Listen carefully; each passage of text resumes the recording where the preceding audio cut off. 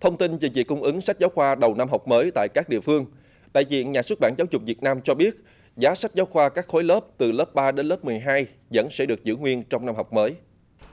Bản giá sách giáo khoa được niêm yết tại các cửa hàng sách của Nhà xuất bản Giáo dục Việt Nam, các công ty sách thiết bị trường học cả nước và trên website của Nhà xuất bản Giáo dục Việt Nam liên quan đến tình trạng sách giáo khoa đến tay học sinh tại các địa phương đang thực hiện giãn cách xã hội rất khó khăn trong khi năm học mới đã cận kề. Nhà xuất bản Giáo dục Việt Nam cho biết đã lên phương án thiết lập các tổng kho tạm thời tại các địa phương có tình hình dịch bệnh đang lắng dịu để tập kết hàng hóa, hoặc trong trường hợp có thể thì dần chuyển sách trực tiếp từ nhà in tới các đối tác phát hành trong khu vực, từ đó chuyển sách về các trường học tới tay học sinh kịp phục vụ năm học mới. Theo thống kê, giới sách giáo khoa lớp 1, lớp 2 và lớp 6, đến ngày 15 tháng 8 sẽ cung ứng tới các địa phương gần 37 triệu bản, đạt tỷ lệ 85%.